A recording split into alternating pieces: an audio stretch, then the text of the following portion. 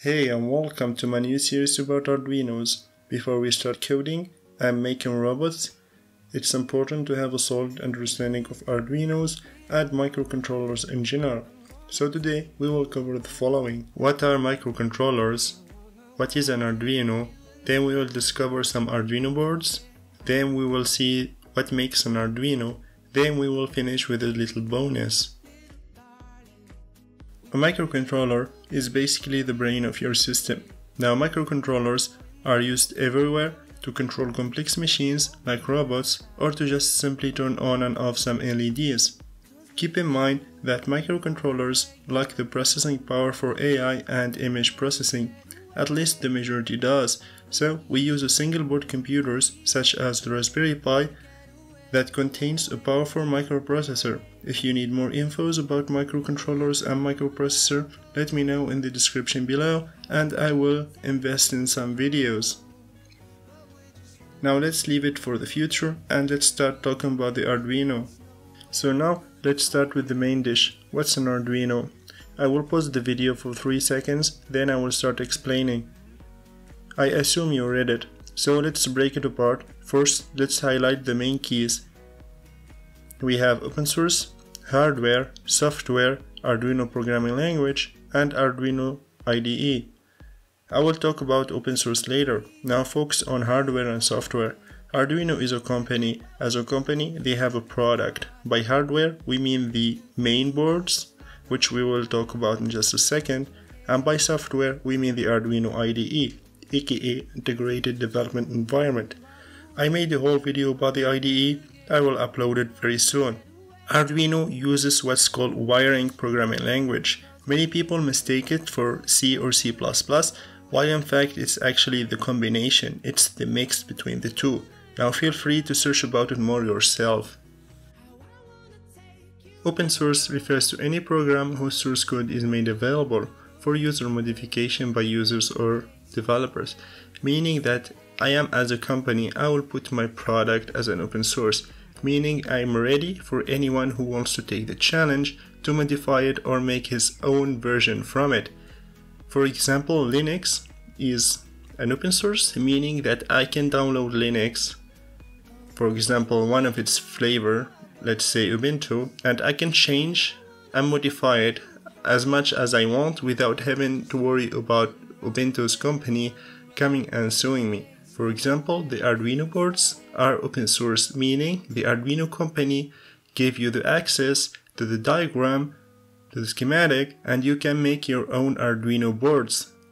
And in the future, we will be creating and making our own Arduino version. So stay tuned, maybe consider subscribing and supporting me. Many people mistakes Arduino boards for microcontrollers, while in fact it's a development board. It contains a microcontroller but with additional component to make it run and to make it easier for us to program it and to interact with it.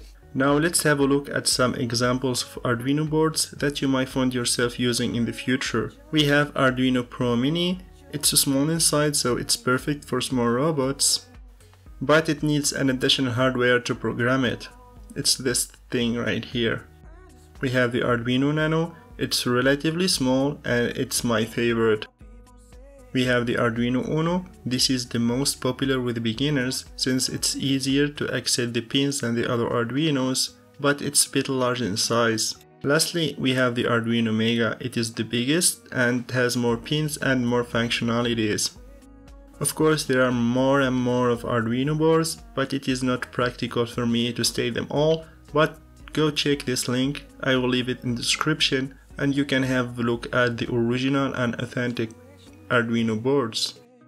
Note in this series we will be using various Arduino boards, but mainly we will stick with the Arduino Uno, so if you wanna follow up, get yourself an Arduino. Now I will leave in the description a link where you can get it in Tunisia for cheap, and I will state a link where you can get it out of Tunisia for cheap as well. Now let's have a look at what makes an Arduino. So we will see different components and understand their main functionalities a USB connector. We use this to upload the code that we wrote to the Arduino using the Arduino IDE. I will talk more about it in the future. We have 7 to 12 input DC. We can connect it to a battery to remotely power Arduino. Now make sure that it is lower than 12 volt if you don't want to risk burning your Arduino. And we don't want that to happen, do we?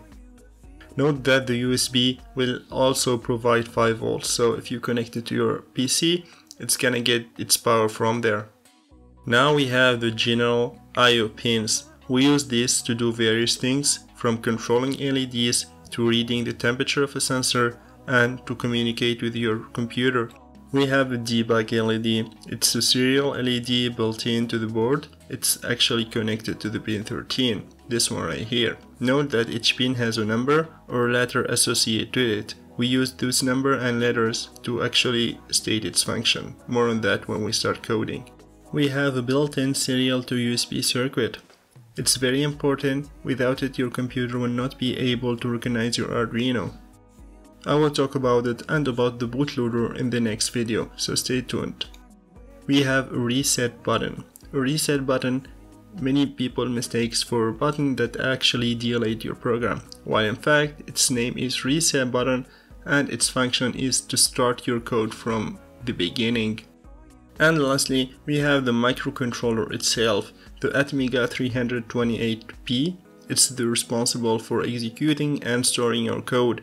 With it, we will make various stuff from robot to security systems, so make sure to stick around and maybe consider subscribing. Well, with this you are ready to go and watch the next video, but I would like to give you a bonus, some information about the Atmega 328P microcontroller unit. Now feel free to skip it if you are not interested, but it is worth the time.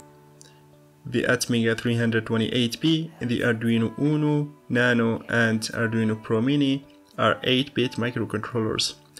All Arduino boards has 8-bit microcontrollers with the exception of the Arduino Duo that actually has 32-bit microcontrollers which offer more feature and more processing power.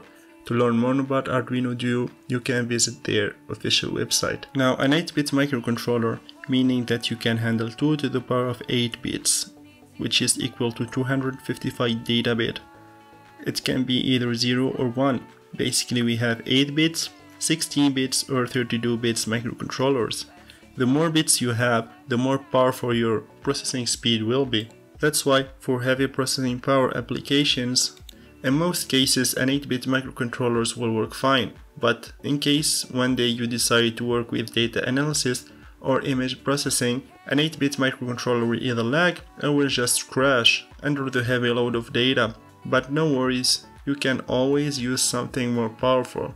Now if you want to learn more about 8, 16-bit and 32-bit microcontrollers, check the link in the description. Now we hit the end of this video. Now consider putting a like on my Facebook page and maybe consider subscribing so you will not miss the future videos. Now peace.